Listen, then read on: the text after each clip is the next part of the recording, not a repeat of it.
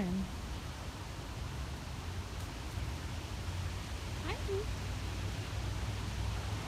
Hi, sweetie. Aww.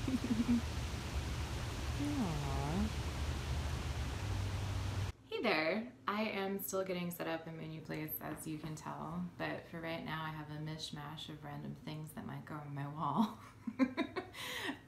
You're welcome. I'm recovering from some dental surgery that I had yesterday, so this will be a quick video. I'm actually doing this in lieu of writing because I my pain is like too high to sit in front of the computer. Even though I'm sitting in front of the computer right now, I am trying. I'm trying to get into the mode because I have so much to do. I wasn't planning on having a huge cavity yesterday debacle thing and now there's a huge hole in my tooth. That's cool. I wanted to apologize um, for my non-binary video. In it, there were a few things I said that could have come across as transphobic or did come across as transphobic to a few people. Um, and that was not my intention at all. I think I was just rambling and maybe not being as articulate as possible, which still might be true for this video, so I apologize in advance if I fuck this up too. But, um, you know, basically I, for the they, them pronouns, um, they, them, you know, when you use them, they are, uh, it, it's a singular pronoun. It's not plural.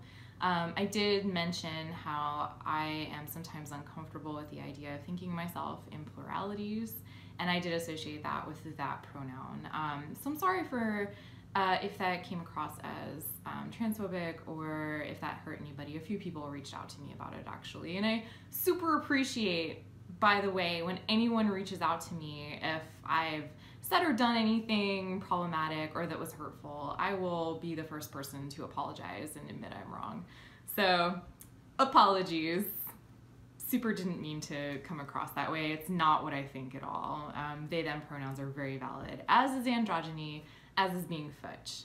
Those are just not things that I um, that I adhere to or associate with my personal gender identity, I should say.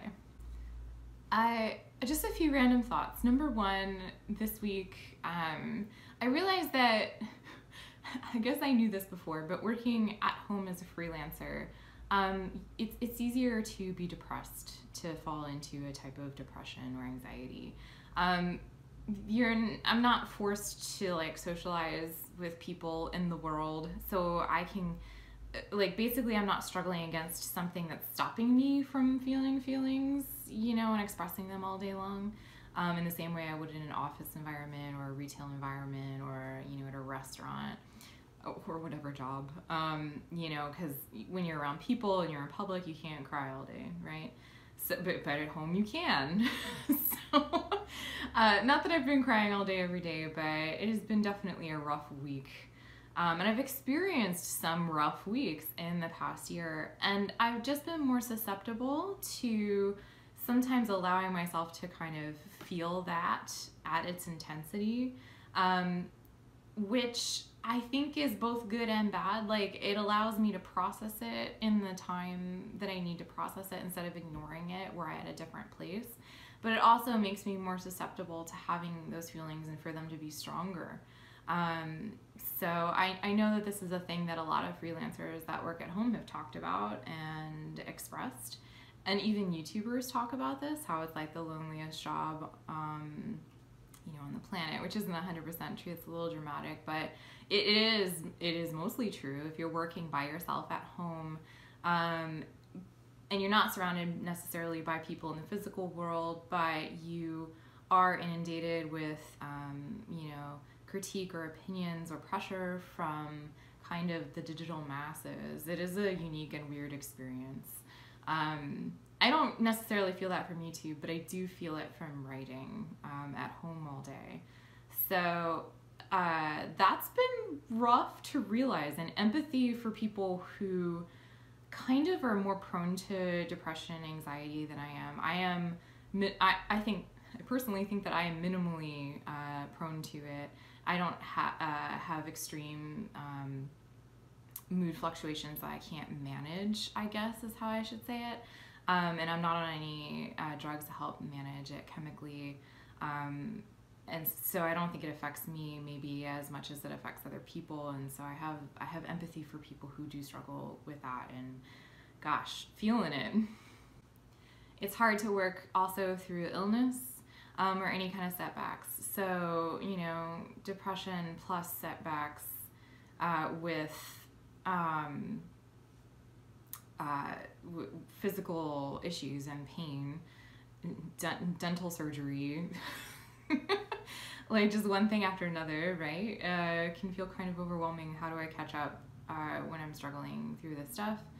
And the answer is just sometimes I have to power through um, just to get things done, and that's hard. I can't I can't put stuff off or hit a different deadline or have someone else to support me. I am my only support. Um, so that's that's difficult you know even though i have been struggling this week or in past weeks when i have been struggling too you just gotta just gotta do stuff freelance life the sad parts there's good parts too these these are some of the sad hard parts uh, also i just wanted to share I, I made a list for a friend recently of some youtube channels that have been inspiring me um, and I thought they might inspire you all as well. Maybe that'd be something cool for you to watch. I, I mentioned ContraPoints in my last video. I love her. Her videos are great.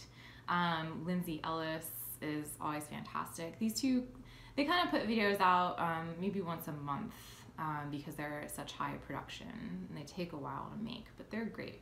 Two great women you can support by watching on YouTube. Um, I've been obsessed with the Donoteat1 videos recently on city skylines and talking about uh, how they relate to capitalism and industry and labor. Super cool. Also, um, he's from Philly and I'm from Philly, and it's cool to see a weird alternate Philly history.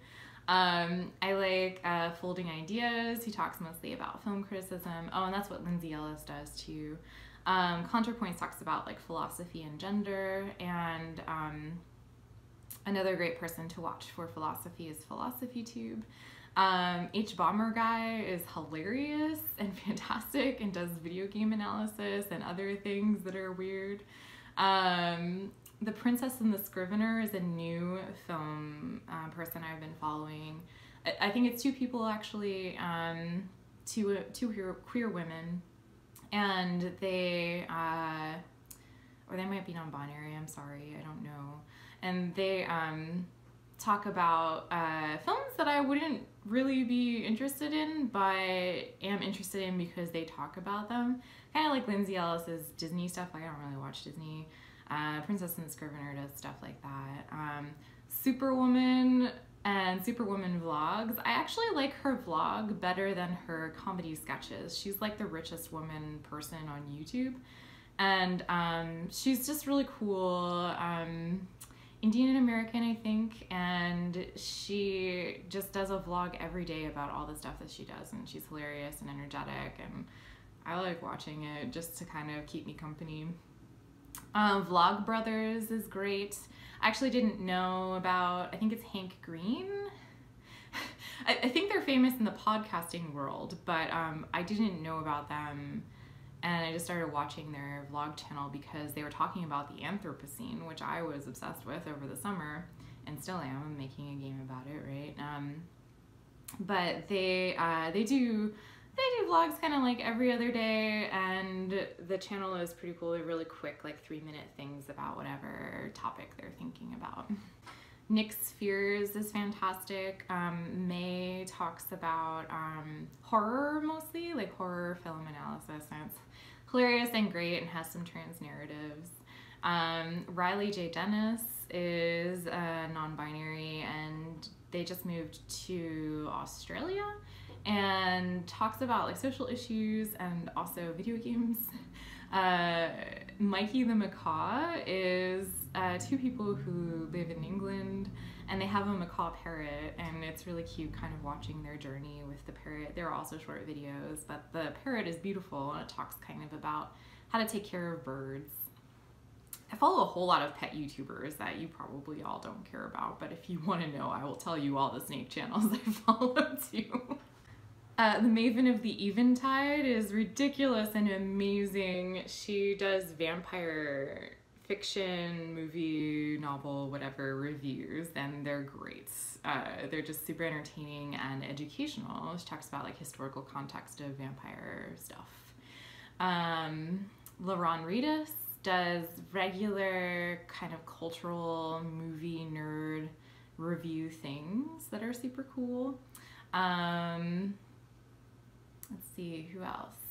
Connie Glynn is a new person I started following. I guess she also used to do some Disney stuff, um, but has gotten into kind of um, like anthropological analysis of YouTube and other cultural things, which I think is really awesome. So there's a list for now, but I made my subscription list public, which I didn't realize I could do.